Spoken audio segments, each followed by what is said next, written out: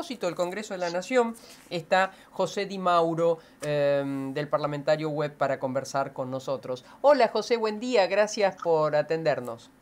Hola María, ¿cómo estás? Gracias por llamar. No, por nada. Bueno, novedades, ¿qué tenemos por allí? Bueno, hoy tenemos una sesión en el Senado donde sigue funcionando el protocolo. El de diputados eh, se interrumpió, eh, quedó dejado sin eh, efecto, ahora perdió validez y bueno, habrá que ver si en, el, si en las próximas semanas se ponen de acuerdo para ponerlo en marcha de nuevo. Pero el Senado hoy va a reunirse a partir de las 14 y bueno, va a tratar la, la moratoria universal este, y una ley de asistencia al turismo. También va a tratar un DNU, el DNU este, la, derogación del DNU este de, Vicentín. Eh, Mira en qué momento, ¿no? Sí, justamente, mm. justamente. Este, bueno, y mientras tanto... Eh, Perdón, porque hoy además de tratar el decreto de, de, derogar, o sea, derogar el decreto de la expropiación de Vicentín, ¿qué otro tema me dijiste? Eh, la, ley de asistencia al turismo. Ah, hay, un, hay un tema con eso, ¿viste? Porque en las dos cámaras están avanzando con leyes de emergencia eh, para el sector.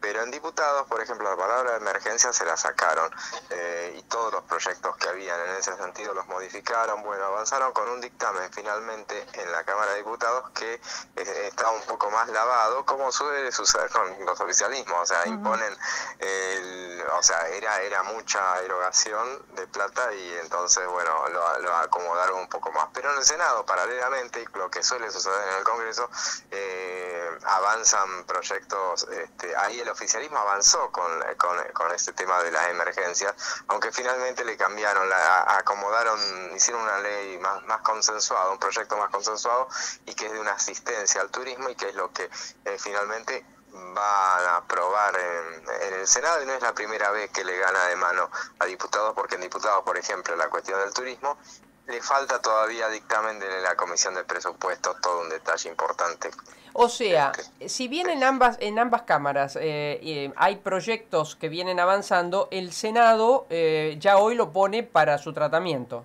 Totalmente, claro, así es. Perfecto.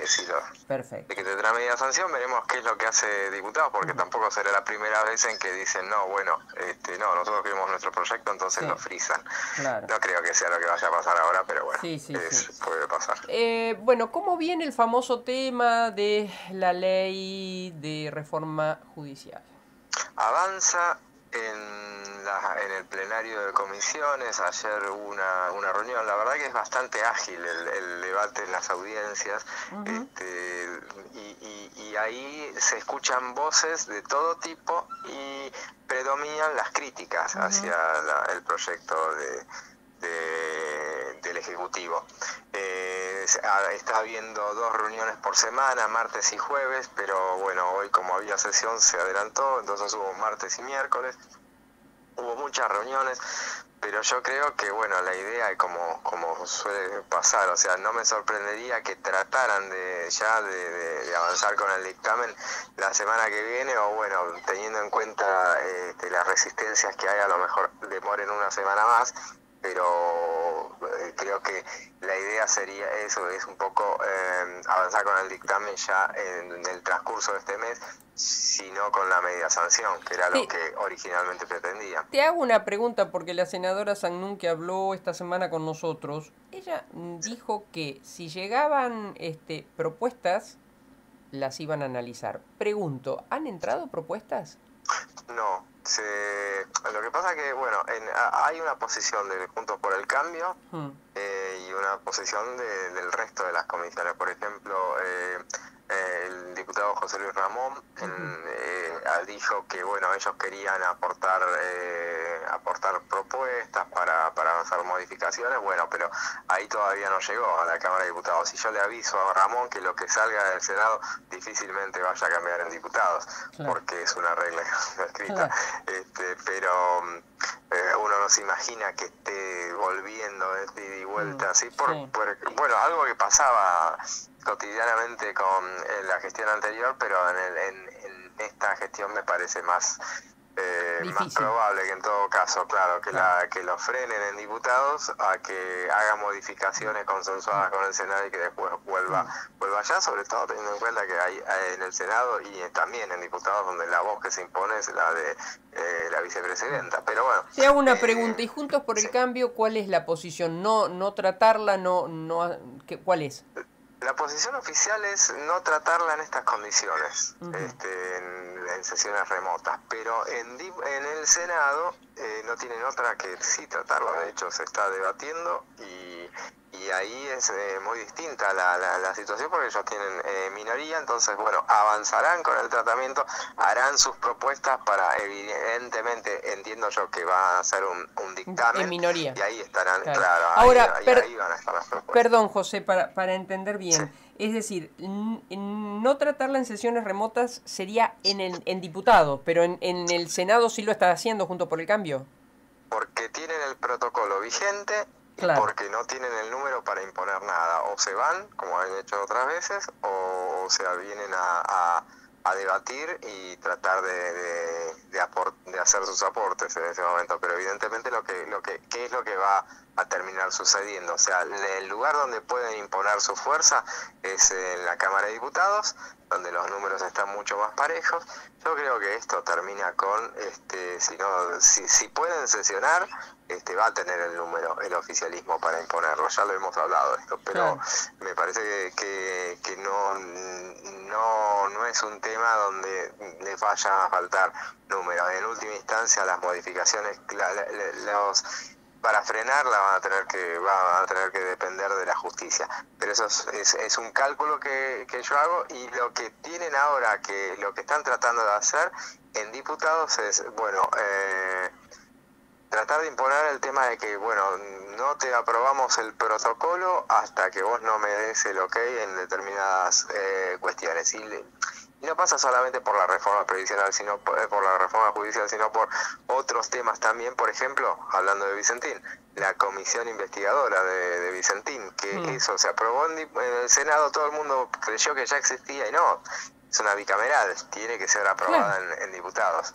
este, Y ahí quedó este, Massa, que, que, sabe que los números que tiene no son tan amplios como en el Senado y, como, y, y además es mucho más contemporizador, este, entonces, eh, bueno, ha tratado de no llevar al, recinto esos temas tan conflictivos, este, tan rígidos, claro. Y bueno, se pondrán de acuerdo o no con esta cuestión, porque también eh, el tema, o sea, eh, es un poco, todo el mundo sabe que ahora, que bueno, ya eh, que no, no se puede sesionar de manera presencial todos, todos juntos. Ahora, o sea, lo dan todos por sentado, por, eh, porque, porque funcionó de alguna manera las sesiones virtuales, porque en última instancia, por más que se reúnan, hay muchos que no podrían llegar, los de Tierra del Fuego, los de las zonas más no, Además, además, por más que se ha relajado todo, pero sabemos que estamos en el, no sé si en un pico, pero sí en un momento muy complicado de la enfermedad. Claro. Y ayer dio otra otra diputada, dio con COVID, ah, este, mira. Gisela Marciota. Mira. Este, lo que pasa que en este caso, bueno, no se contagió por lo menos en una sesión. Eh, no se sabe si los anteriores también se, si se habían eh, contagiado, pero eran casos eh, que, que sí habían participado de esas sesiones mixtas, que son en, diputados donde sí hay, digamos, hay entre 40 y 50 diputados de manera presencial habitualmente. En el Senado no, están solamente hay cuatro senadores. Bueno, y la última, entonces, volviendo como hacen los ingleses, que siempre vuelven al, tema original. Eh, ¿Vos pensás entonces que en el Senado al menos la oposición va a hacer un dictamen en minoría, al, al menos la de Juntos por el Cambio? Sí, no tienen otra alternativa que, que, avanzar con a, aprobar algo. Mm. Eh, con las modificaciones que, que bueno que, puedan llegar a, presentarse porque aparte están dando el debate están participando de las de las de las reuniones y bueno se van a sentar en las en las críticas muy fuertes que hacen eh, la mayoría de los que participan en esas en esas reuniones donde eh, hay que reconocer también que el oficialismo, a diferencia de otras instancias, y esto es muy llamativo, pero eh, le, ha permitido a, la oposición a llevar a todo el mundo que, ellos quieran llevar. Esto pasó, si tenés un minuto más, claro. les pasa habitualmente en, en, otras comisiones, donde, por ejemplo, eh, libertad de expresión. Hmm. Yo, eh, el tema de periodistas, eh, las sobre los periodistas, las persecuciones y toda esa cuestión, bueno, la, la, comisión es eh, liderada por Waldo Wolf de, la oposición, es una comisión eh, donde habitualmente es predominancia de la oposición. Y bueno, hace poco hicieron una reunión donde para justamente para el tema de, de los periodistas y qué hizo el kirchnerismo, se la llenó de invitados del que hablaban que eran la posición contraria a la que querían establecer desde, desde la oposición. Este, entonces hubo más o menos hubo como ocho exponentes donde eran siete de un lado, no, seis de un lado y dos del otro. Eh, entonces, este, bastante desbalanceada la cuestión. Claro, bueno, en este caso, eh, o sea, el kirchnerismo en general hace eso, te la llena las comisiones, entonces este, vamos a, mm. que fue lo que pasó en teletrabajo. En teletrabajo, si bien la vez que eh, fueron todos los empresarios a, exponer en contra del mm. proyecto, bueno, el representante de las pymes era un, eh, era un militante kirchnerista, Que, que, bueno, que fue criticado en ese sentido, pero bueno, la cuestión es que suelen hacer eso, pero no es lo que está pasando en la reforma judicial, donde se escuchan todas las voces de los que van y hasta los que parecieran ser del palo también tienen críticas para hacer, porque bueno, una cosa es ser del palo y otra cosa es eh, bancarse, que tengo en la justicia con cosas que no querés saber. Por ejemplo, Julio Pimato. Ah, mira, mira, mira, mira. Bueno, eh, José, estoy anotando. Muchísimas gracias por todo esto, ¿eh? Un abrazo muy grande. Otro para vos. Gracias. José Di Mauro del Parlamentario Web. Ustedes, si quieren este, seguirlo, em, todo lo, que pasa en el Congreso de la Nación eh, es un sitio por excelencia donde aparece todo esto. ¿eh?